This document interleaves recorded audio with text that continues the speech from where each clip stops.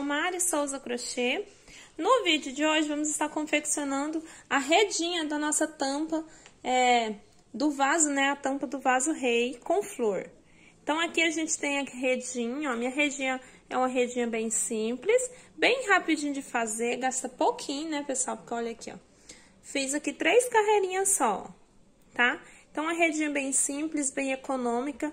Eu espero que vocês gostem dessa redinha. Caso não queira colocar essa, pode estar colocando outra aí da preferência de vocês, tá bom? Mas hoje eu vim ensinar pra vocês essa redinha aqui pra gente estar tá usando nessa tampinha, tá bom? Vou virar aqui pra que vocês possam ver o outro lado. Assim, pessoal, olha ela por cima, a nossa tampinha do vaso, né? Então, a aulinha hoje, meus amores, a gente vai fazer a redinha dessa tampa, tá bom? Sendo que as outras aulas da, dessa parte de cima já está no canal, tá bom? Dessa parte aqui tudo, eu fiz em passo a passo e já tá no canal aí pra vocês. É a primeira e a segunda aula, essa da redinha é a terceira aula, então, da nossa peça, tá bom? Vamos lá, então, continuar aqui, vamos fazer a nossa redinha vídeo anterior, meus amores, nós paramos aqui, ó, com um ponto baixíssimo, tá? Olha aqui a minha correntinha, o meu fio. Agora, eu vou tá passando esse fio aqui, ó, pro lado de trás, ó, essa, essa laçada aqui eu vou passar pro lado de trás, nesse ponto baixo aqui, ó. Ponto baixo aqui, de, na parte de baixo. Vou passar minha laçadinha pra lá, tá? Vai ficar assim, ó, na parte da frente, na parte de trás a minha laçadinha vai ficar aqui. Vou ajeitar ela, né, pra ficar na agulha. Ó. E aqui, pessoal, a gente vai trabalhar subindo por essa parte. Observa aqui onde tá o cantinho aqui, ó, do nosso, do meio do nosso tapete, ó. Aqui eu tenho um desenho aqui, né, um biquinho aqui, ó. Então, eu tô começando sobre esse ponto baixo que tá do lado, tá? O meu bico vai, a minha redinha vai começar aqui. E nós vamos seguir com ela até do outro lado aqui, ó, que é onde fica, né, o meio aqui, ó, o meio, e a gente vai vir até nesse ponto baixo que fica de cá, ó, tá? Então, esse ponto de cá e esse ponto de cá, ó. O primeiro ponto baixo aqui, depois da metade aqui do tapete, ó, que é a metade do, da nossa tampa, tá? Então, nós vamos parar nesses pontinhos de cá, ó. Nesse pontinho de cá. E do de cá também, ó certo? Então, vamos começar. Aqui eu vou subir uma, duas, três, quatro correntinhas para ser a altura de um ponto alto, quatro correntinhas, e agora eu vou fazer uma, duas, três, quatro, cinco, seis, sete correntinhas para ser aqui a distância que eu preciso. Se sete vocês achar que tá pouco, pessoal, pode colocar oito correntinhas, tá? Eu acho que, o meu com oito vai dar melhor eu vou colocar oito. Oito correntinhas, vou enrolar aqui meu fio duas vezes e vou abraçar esse ponto baixo aqui que a gente tem, ó. Tá? Esse pontinho baixo aqui que a gente tem. Abraçando ele aqui, eu vou fazer um ponto, um ponto alto duplo. Ó, passo uma vez, tira mais uma vez e mais uma vez. Ficando assim.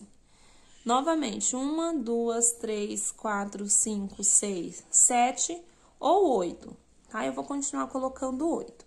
Oito correntinhas, faço aqui, ó, enrolo duas vezes na agulha.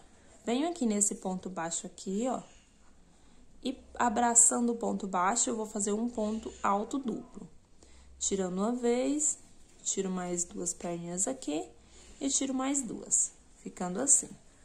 Uma, duas, três, quatro, cinco, seis, sete, oito enrolo duas vezes, venho aqui no próximo, pegando o ponto baixo, e vou fazer o meu ponto alto duplo. E dessa forma, nós vamos caminhando aqui com a nossa, com a nossa redinha, sempre prendendo aqui, ó, nos pontos baixos que ficam, entre um biquinho e o outro, ó, o de baixo, tá? A gente tem um ponto em cima e um embaixo, a gente vai prender no de baixo, ó um em cima e um embaixo, que são esses pontos baixos aqui que a gente tem, ó, que a gente prendeu. Agora, a gente tá prendendo sobre eles, eu tô prendendo no de baixo, tá?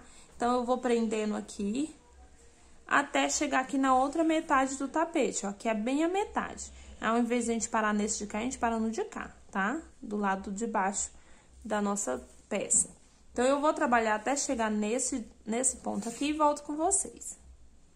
Voltei, então, agora aqui, ó, com minha, é, minhas correntinhas prontas, né? Minhas argolinhas. Vou contar, ó, uma, duas, três, quatro, cinco, seis, sete, oito, nove, dez e onze, tá? Tenho o total de onze, pessoal. Agora, nós vamos voltar as nossas correntinhas. Então, vou fazer aqui, ó, quatro correntinhas para subir um ponto alto, como se fosse um ponto alto duplo. E vou fazer sete correntinhas. Uma, duas, três, quatro, cinco, seis e sete. No meu, eu vou fazer sete, porque essa aqui de baixo eu tinha feito oito. Agora, eu vou trabalhar com sete. Se você trabalhou com sete aqui, agora você trabalha com seis, tá? Sempre diminuindo uma. Então, enrolo duas vezes aqui, venho sobre o ponto alto duplo e faço outro, ó. Tiro duas vezes, tiro duas laçadas e tiro mais duas. Ponto alto duplo. Faço uma, duas, três, quatro, cinco, seis, sete correntinhas. Novamente, venho aqui sobre o ponto alto duplo e faço ponto alto duplo. E assim eu vou seguir, sempre fazendo sete correntinhas e um ponto alto duplo em cima do ponto alto duplo da carreira anterior. Vou trabalhar aqui os meus e já volto com essa carreirinha feita, né? Quando chegar aqui, ó, nessa parte aqui, eu volto com vocês.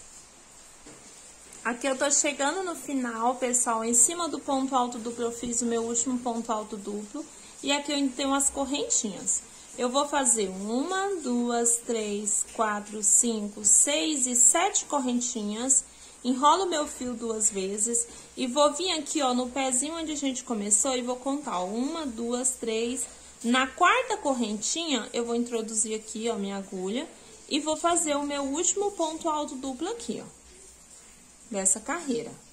Ficando assim, ó, tá? Na quarta correntinha subindo. E vai ficar assim. Ó, a nossa redinha, tá ficando assim. Vamos fazer mais uma carreirinha. Então, eu vou subir quatro correntinhas para ser a altura de um ponto alto duplo. E agora, eu vou trabalhar com seis correntinhas. Uma, duas, três, quatro, cinco e seis. Enrola a agulha aqui duas vezes. Venho sobre o ponto alto duplo. E faço novamente outro ponto alto duplo. Uma, duas, três, quatro, cinco e seis enrolo aqui duas vezes e venho aqui, ponto alto duplo em cima de ponto alto duplo. Uma, duas, três, quatro, cinco e seis, e novamente. E assim eu vou caminhando até chegar do outro lado lá, tá? Chegando aqui, eu volto com vocês pra gente fazer essa última aqui junto e continuar. Vai ficando assim, ó. Vou fazer aqui mais essa carreirinha e já venho. Fiz aqui as minhas seis correntinhas. E agora, a gente vai contar aqui, pessoal. Enrolo duas vezes para fazer um ponto alto duplo. E conto uma, duas, três. Na quarta correntinha, eu introduzo aqui, ó. Sempre pegando as duas alcinhas, pessoal, olha. E aqui eu faço o meu último ponto alto duplo. Ficando aqui dessa forma, a nossa redinha. Agora, eu vou estar tá fazendo uma correntinha e vou cortar esse fio, tá? Minha redinha vai ficar só isso mesmo. Caso vocês queiram fazer é, que venha mais pra cá, vocês vão fazer, né, outro quatro correntinhas aqui pra subir. A mesma coisa que a gente fez, só que agora vocês usam aqui cinco, ao invés de usar seis, né? A gente usou oito, sete seis, agora seria a vez de cinco. Então, se você for fazer mais uma carreira, usa cinco correntinhas, tá? Aqui eu vou cortar. Eu vou cortar aqui esse fio. Vou fazer aqui os nozinhos pra não soltar. Pegando aqui mesmo em cima do ponto, ó. Puxa aqui uma perninha, né? E aqui eu faço aqui os dois nozinhos pra não soltar aqui é, o nossa, a nossa peça, né? Não desmanchar. Então, fiz aqui, ó, dois nozinhos, vou deixar por aqui, que eu vou trabalhar por cima desse fio ainda. Vou pegar aqui, ó, o fio que estava aqui parado e vou trabalhar o total de 35 correntinhas, ó. Fiz a minha laçadinha inicial, eu conto aqui uma, duas, três, Vou fazer 35 correntinhas. Vou fazer as minhas 35 e já volto com elas feitas. Fiz aqui, ó, 35 correntinhas, tá? 35 correntinhas. Agora, eu vou vir em cima desse ponto alto duplo aqui, ó, o último que a gente fez, tá? Olha, aqui em cima desse ponto alto duplo, eu vou fazer, vou introduzir a minha agulha sobre ele. E eu vou fazer aqui um ponto baixo, ó, puxei, faço um ponto baixo. Venho nesse espaço aqui de correntinhas e vou trabalhar seis pontos altos. Um, ou aliás, pontos baixos, desculpa. Um, dois, três, quatro, cinco e seis. Já trabalhei por cima daquele fio para já ficar preso. Então, fiz aqui, ó, seis pontos baixos, ó, seis pontos baixos.